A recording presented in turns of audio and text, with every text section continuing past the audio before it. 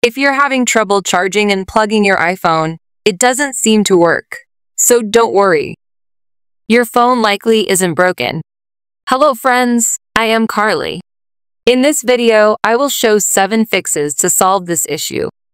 So let's watch the video till the end. The issue often lies within the charging port itself. Lint and dirt from your pocket can accumulate, preventing the cable from fully connecting. So let's follow the first solution. Clean the charging port. Turn off your iPhone to ensure safety while cleaning.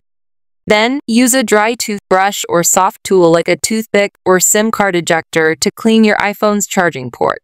Gently insert the wooden toothpick into the charging port and carefully remove any debris. Be sure not to use too much force. That's it.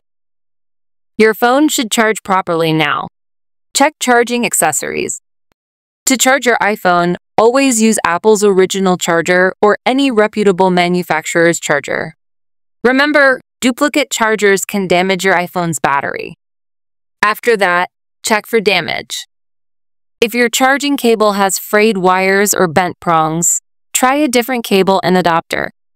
If it works, then you need to change your charging cable and adapter. Force restart. Quickly press and release the volume up button, and press and release the volume down button. Press and hold power button until you see the Apple logo on your iPhone screen. Now, wait for the restart to complete and unlock your iPhone. Check if the problem is solved. Reset all settings.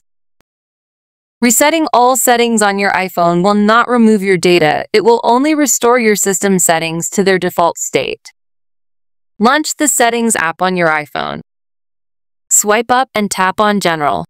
Then swipe to the Transfer or Reset iPhone option and select the Reset option. After that, select Reset All Settings. Enter your passcode to continue. Again, select the Reset All Settings option to confirm. Wait for the process to complete. Wireless charging if your iPhone doesn't charge and supports wireless charging, put it on the wireless MagSafe charging pad and wait for some time. Then check if your iPhone has powered up. Check for moisture warning. If your iPhone shows a warning message such as liquid detected in USB-C connector, unplug the cable from your iPhone and leave it in a dry area with some airflow. If you have an emergency, you can use a wireless charger to charge your iPhone. Please don't dry your iPhone using compressed air or a heat source. Also, don't insert any object, such as paper or cotton, into the charging port. If your iPhone is not wet, but you see this alert message whenever you connect the Apple charging cable, you may need to contact support. The website link is given in the video description. You can read all the related articles or contact the Apple support team via call or chat to schedule a repair. You can also book a Genius Bar appointment. Tap on the top iCard to watch the full video on how to book a Genius Bar appointment at the Apple Store. That's it.